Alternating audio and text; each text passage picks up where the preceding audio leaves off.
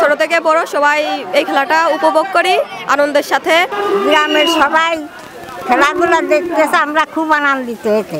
আজকে ঈদের আনন্দ, গয়েশপুর ইউনিয়নে আমার নাতি ছেলে সবার সবাই অফিসার। তিনি খেলা দেখছেন, আমরা এতে সবাই খুব আনন্দিত। গ্রামের সবাই খেলাধুলা দেখতেছে আমরা খুব আনন্দিত এতে। বিশ্বাস বাড়ির উদ্যোগে সমাজসেবা অফিসারের উদ্যোগে আমাদের প্রতি বছর ঈদের পরের দিন আমাদের একটা খেলা অনুষ্ঠিত হয়।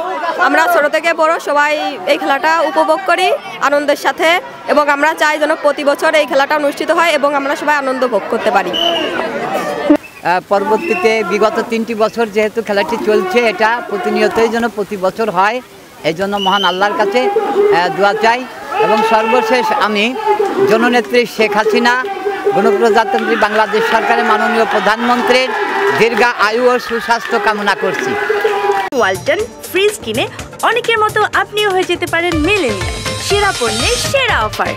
গ্রাম বাংলার যে খেলাগুলা আসলে যে খেলাগুলো হচ্ছে এই খেলাগুলো আমরা দেখতে পাই না মানে আমাদের সচরাচর দেখতে পাই না কিন্তু এই ইউটিউব চ্যানেলগুলোতে যেগুলাতে হয়, এগুলাতে দেখি। কিন্তু আমার খুব ভালো লাগছে যে বাড়িতে এসে ঈদের ছুটিতে, ঈদের পরের দিন এই সুন্দর যে খেলাগুলা, আসলে খেলাগুলা এখন দেখে মনে হচ্ছে খুব ভালো এবং খুব বিনোদনপূর্ণ খেলা।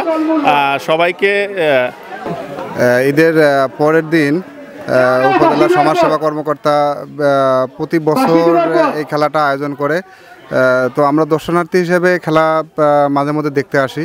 তো ভালো লাগে বিষয়টা এই খেলার মাধ্যমে পারস্পরিক মেলবন্ধন সেতুবন্ধন যে পারস্পরিক যে সম্পর্ক সেটা বিয়ের পর পর গ্রাম্য পরিবেশে এইভাবে এই অনুষ্ঠান আমাদের খুবই আনন্দ দিচ্ছে এবং ছোটো কাছাকাছি ছোটো ছোটো ছোট ছেলে মেয়ে বড় সবাই এতে অংশগ্রহণ করার সুযোগ পেয়েছে, এতেও আমরা খুব আনন্দিত।